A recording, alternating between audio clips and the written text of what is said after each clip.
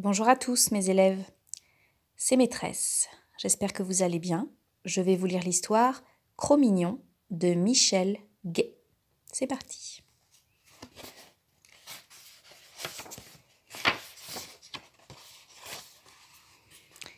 C'est la préhistoire. Il fait très froid depuis longtemps. Rien ne pousse plus sous la neige. Les Cro-Magnons n'ont que le gibier pour survivre. Il faut déménager souvent pour en trouver.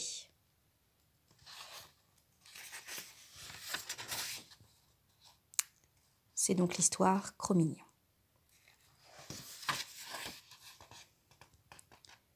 Ce matin, Cro-Mignon voudrait attraper du gibier, avec les chasseurs. Lui aussi a très faim. Il ne doit pas partir, il est trop petit pour chasser. Sa maman le retient à la grotte il pourrait se faire manger par un lion, comme son papa. Parfois, c'est le gibier qui vous attrape.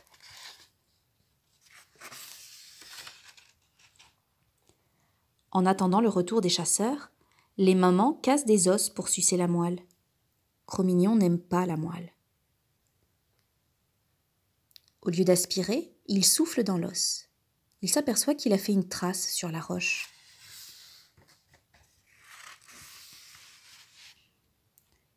Cro-Mignon recommence en s'appliquant.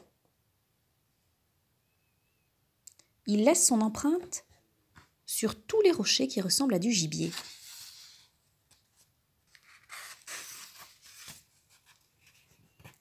Cro-Mignon est un grand chasseur. Il a déjà attrapé trois sangliers, cinq bisons et deux ours. Maintenant, Cro-Mignon veut chasser le gros gibier là-bas.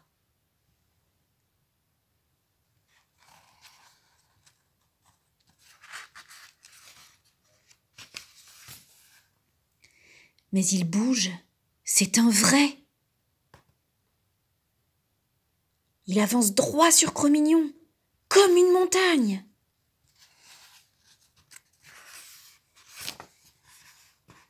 C'est un mammouth. Cro-Mignon, pardon, n'en a jamais vu. Il a très peur. Mais c'est l'arbre d'à côté qui intéresse le mammouth. Il l'arrache aussi facilement qu'un radis. Cro-Mignon s'est caché sous un rocher. Il entend le mammouth broyer le cœur de l'arbre.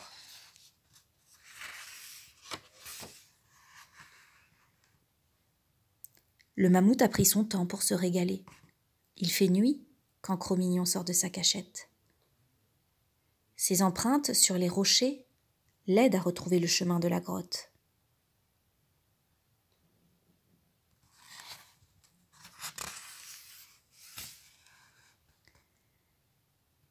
La maman de Cro-Mignon était très inquiète. Là-bas, gros gibier dit Cro-Mignon.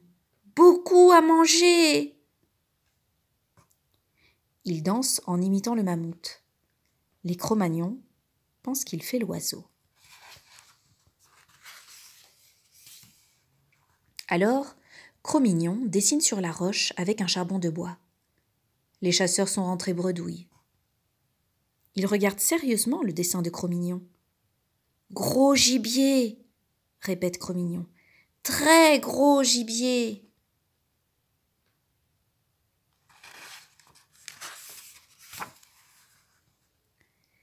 Certains chasseurs ont entendu parler de l'énorme bête. Tous veulent savoir où elle se trouve. Cro-Mignon suit les traces sur les rochers. Et les chasseurs suivent Cro-Mignon.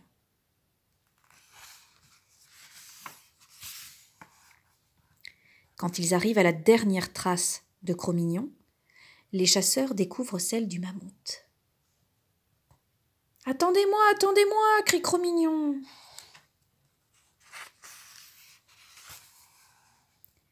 Mais les chasseurs n'attendent pas. Ils courent tuer le gibier.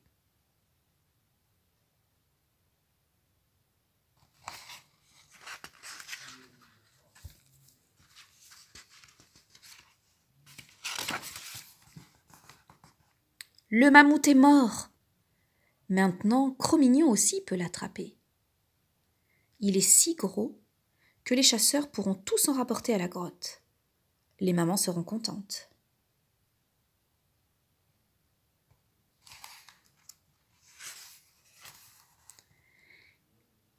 Il n'y a pas que de la nourriture dans le gibier. Il y a aussi des os et de la fourrure.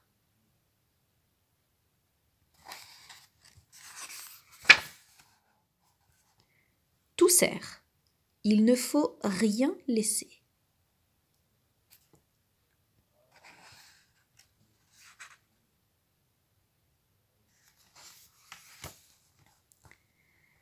Les Cro-Magnons ont repris des forces. Avec les os du mammouth, les chasseurs ont sculpté des outils. Avec la fourrure, les mamans ont taillé des couvertures. Et avec la queue, Cro-Mignon s'est fait un pinceau.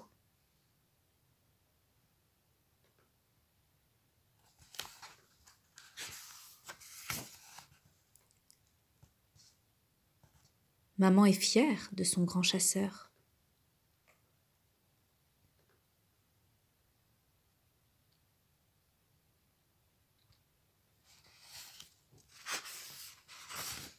Voilà, l'histoire est terminée. C'était Cro-Mignon de Michel Gay. Au revoir mes loulous.